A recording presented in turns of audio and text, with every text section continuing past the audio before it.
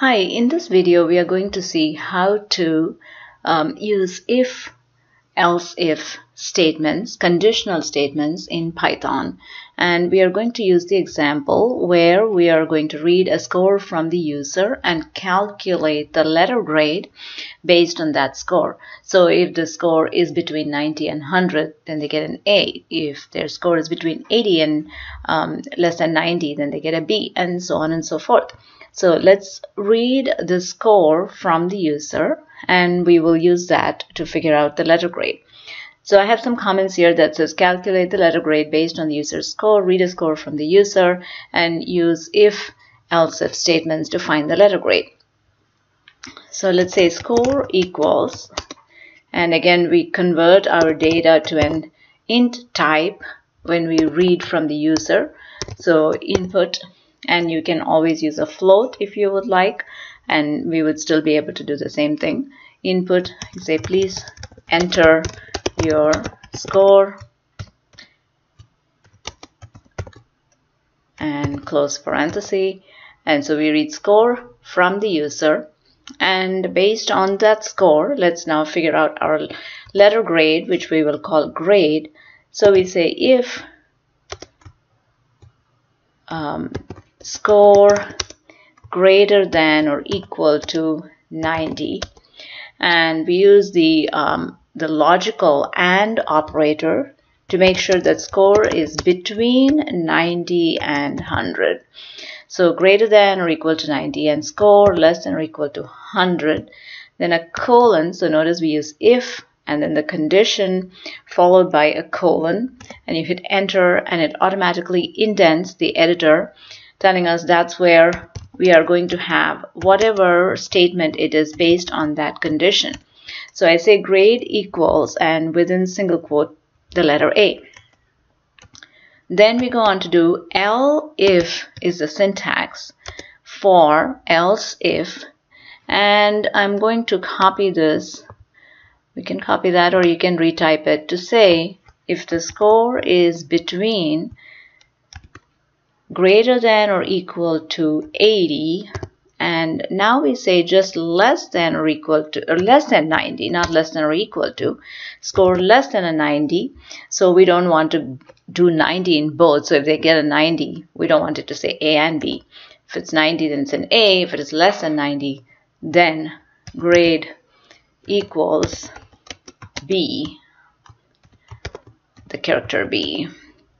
And we do a few more elifs like that.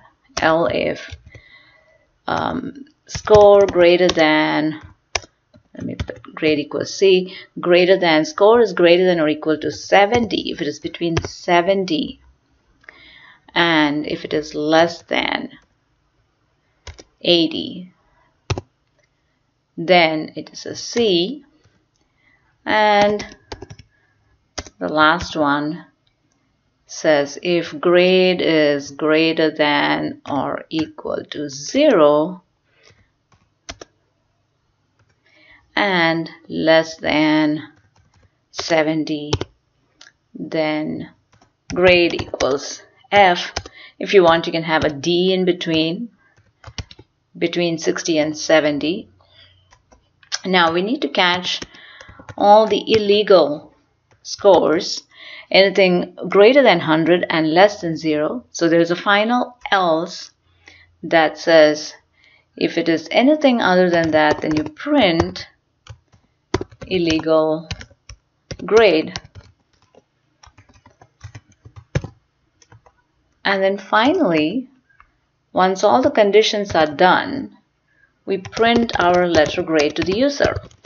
And that would be that variable grade so you say print your grade is and you print that grade.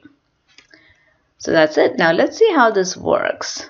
So we save this. I called it as my sample A04 because this is like your assignment number 4. Then we run and run module and it says please enter your score let's enter 67 it says your grade is F let's run a couple more times and do some checks So if you enter 98, it says it's an A. So it's working good for the most part. Now if we enter something like 103, it says illegal grade. But we also get an error message here. Anything that says trace back in red like this is some kind of an error message. So it prints illegal grade. Then it tries to come here and print our grade. But notice, in case of this last condition, grade has not been set to anything. So it says grade is not defined. So it's not a very nice way of ending the program. So this statement, this last statement, can get executed only if we have a valid grade in here. Now, you could always do some quick uh, fixes, like if it is an illegal grade, you can say grade equals, I don't know, some character. But instead of that, to make it nice, we could have a flag. We'll call it flag I will initialize flag to true, let's say. So I put the string true inside single quote. Now, for some reason, if it was an illegal grade, here's what we could do. We could set that flag equals false. Okay, so set the flag equals false. I say true or false because it makes a little bit more sense. Now you can always set the string to anything that makes sense to you because what we're going to do is we're going to come here and we're going to print only if our flag is true. If our flag is false, then we're not going to print anything because we already have a message that prints illegal grade and we don't need to print anything beyond that. But if it is not an illegal grade, then we would like to print our grade. So if, if flag is true, that means we haven't come to this last else where the grade is illegal and it has not been set to false and we can print the grade safely. If flag has been set to false, then this condition is not true and it's not going to print our grade statement. So it's, it's a way of um, using what we call Boolean variables and um, trying to end our program elegantly than using quick fixes or getting error messages. So now if I enter 96, we get a good grade. What if I enter 102? It says illegal grade and it ends nicely. It doesn't give us any more messages other than that. You can put in a negative number and should say the same thing. So this video showed you how to do if else if statements um, essentially conditional statements that you can use um, to interrupt your sequential flow and go in whatever direction you want to.